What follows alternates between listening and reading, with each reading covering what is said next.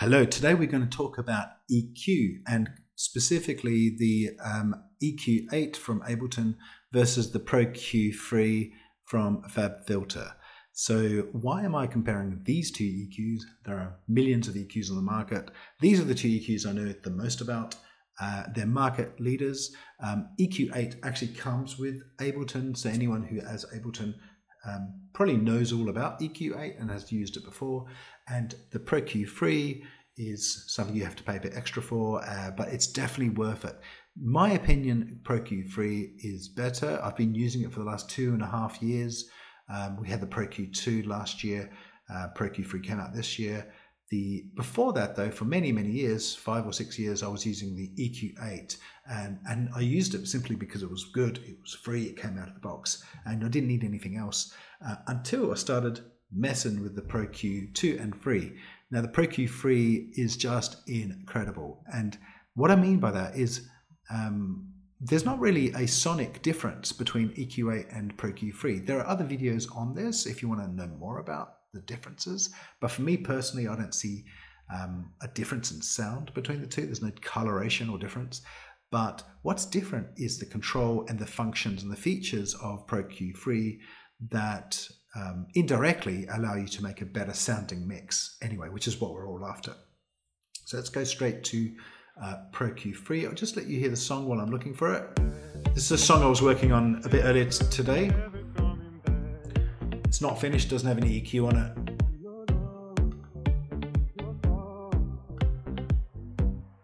Just put the EQ.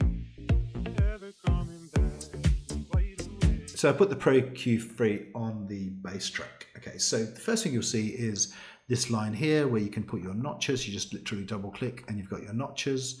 Um, this is the same exactly as the Ableton EQ. Um, anything um, above increases the volume, anything below attenuates, it reduces. So uh, each notch is instantly a different color, which is nice and cool. You've got all these different amazing colors. Um, and each notch, you can control the type of signal that you have in terms of stereo placement. You can affect the left. So you just click on here. So this is just affecting the left-hand side of my speaker, and this is all left-hand side, so I can reduce just the left hand side or can increase the left hand side of the volume of that frequency. Um, stereo placement is obviously the right hand side, stereo is the default. Then you've got mid and side. Okay, so if you want to kill, if you've got a bass track and you want to kill all of the side information on the bass track, it's just there at your disposal. You can, let's just do it now. Let's do a low cut and slope, we just make a very steep slope, just kill anything below, say, 100. Let's listen to it. So all of that information, most of that information should be chopped away at, in terms of the stereo signal, um, which makes everything below this frequency a mono.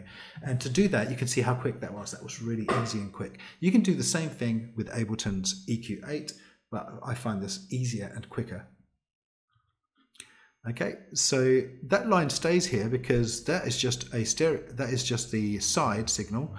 But you can, on the line, you can do, you can add a, a mid, you can chop the mid up. Okay, so you've got a mid, you can add as many as you want. You can um, chop up the, you can um, put in a, uh, sorry, we can put in a right hand, yeah, on the right hand side, sorry, on the right uh, speaker, you can do a low cut on the right speaker for whatever reason, you can just keep going and going and going, and it's all on the same preset. You can do just a, a lump, a lump of really interesting things. It's got amazing defaults, uh, sorry, presets, you know, sort of your typical sort of presets that you need. Um, yeah, so it's really cool and very quick to use. Uh, each of these notches can be affected uh, by gain. You can increase the gain here. Um, you can change the frequency and on the gain you can you can pinpoint the EQ. You can make it as wide as you need. You have complete control. And if you change your mind about that particular notch, it wasn't supposed to be stereo, it's supposed to be mid. You can change it, the information that it affects here very, very quickly. Okay, you can also choose the shape very, very quickly. So you can do all of this in Ableton, but in my opinion, it's a bit slower, a little bit clunkier, and I'll show you why in a sec. So let's just go back to our default clean, clean um, um, thing. And basically what we're going to do now is show you the other features that it has that are really cool. Um, so it does this side chain feature. So if you have a look here, you can side chain to any track on Ableton. So for example, you can side chain to the kick or do a pre-effect side chain. Um, this doesn't actually sidechain, it just brings that signal in, but it is the starting point for a sidechain. So on the analyzer, let's click sidechain so you can see straight away the, the shape of the kick, okay? And this red thing here is, I've just pressed this button, I'll just switch it off and put it back on. That is your collision. That's where you've got some frequency clashes, okay? So that's another cool thing that I just don't think Ableton does, but it's very, very useful. Now, the other thing you can do is when you see the analyzer, you can see the sidechain track, you can also see all the other tracks that ProQ is currently on. So you can see what's happening very easily and very quickly, and you can see the clashes.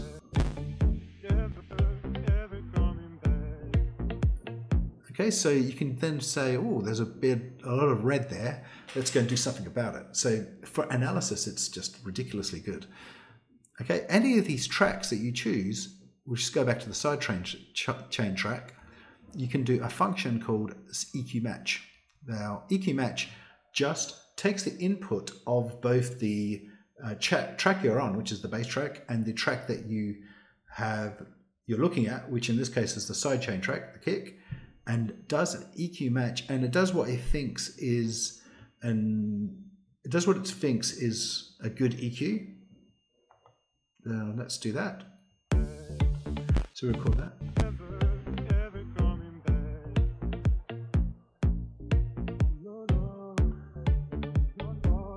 Okay, so there that is. Let's just make this a bit bigger. So it's got it's got suggested points where there are clashes. And you can just literally go in and do what you what you need to do to you know reduce or increase uh, the clashes between those suggested points. Okay, so it's very very cool for that.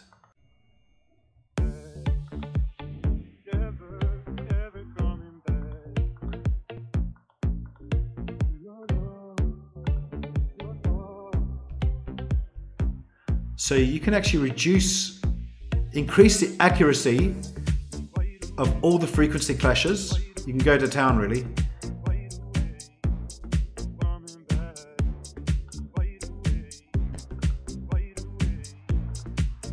Or you can do something less accurate, but it's actually much better. So, uh, for example, this one here, for me, I'm not seeing any red color here, so I'm not going to, I'm just going to leave that alone.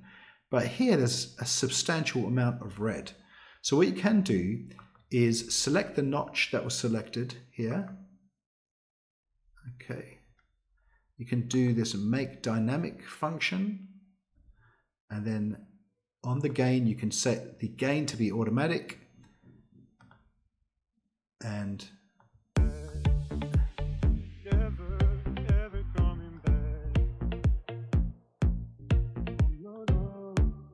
So I'm now ducking, now ducking the bass wherever it hits that frequency and I can control the Q and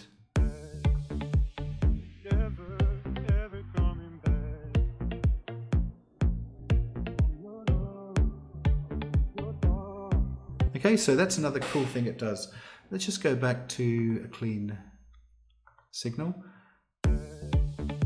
So when you can see the shape here of the kick, you can actually just set a dynamic cue and just do it manually without the EQ match, which is what I do anyway. And I just reduce what happens here. I've got this space here which reduces dynamically, but then you can um, associate that as a side chain signal to the kick. You can go to the bottom threshold or really close to the to the top.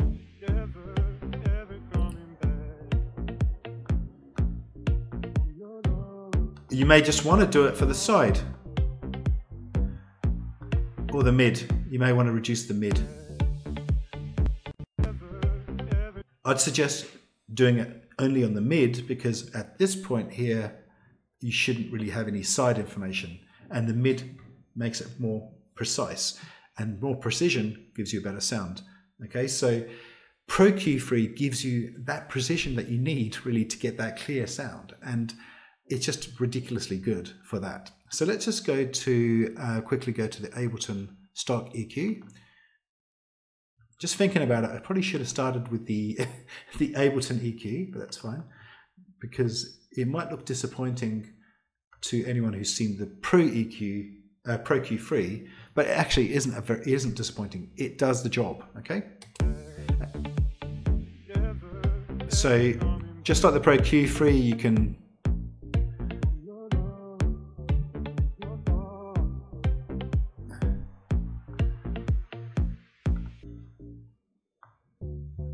you can move these notches just like the Pro Q3 and just like the Pro Q3 it has left and right signal and mid and side and you select M or S so for example we want to put a notch in there get rid of all the side signal we can do that and it has this thing that was really useful, which is to you can actually hear the changes that you made. Let's start again. As you're making them.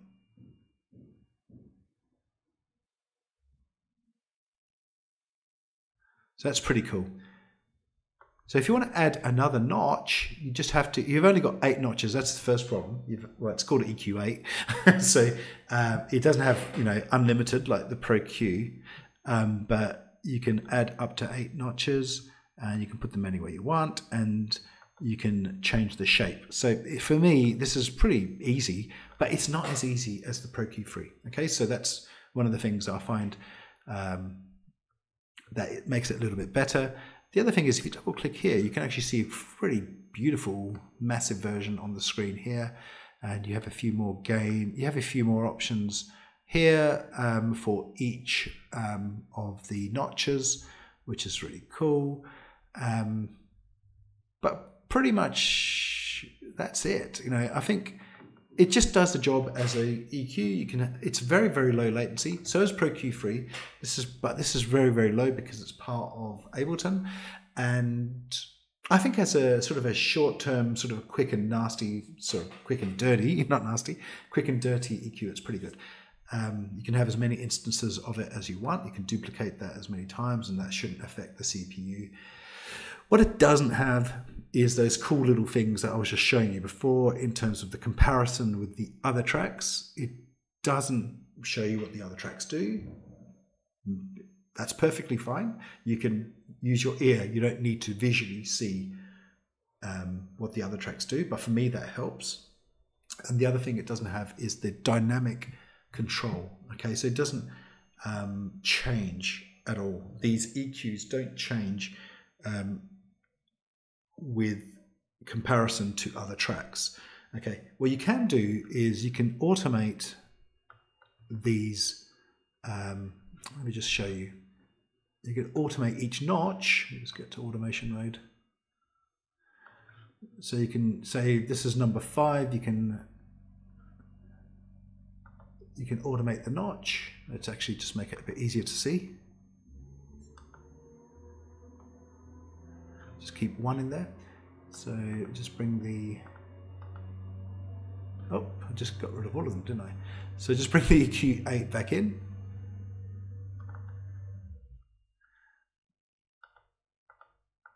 So you can automate any of these notches. So on track, on number one here, I can automate the gain. So I can do things like that. And you could do the same thing for Pro Q, but so let's just listen, just look at it. And you can also automate the frequencies. That should be a bit easier to see.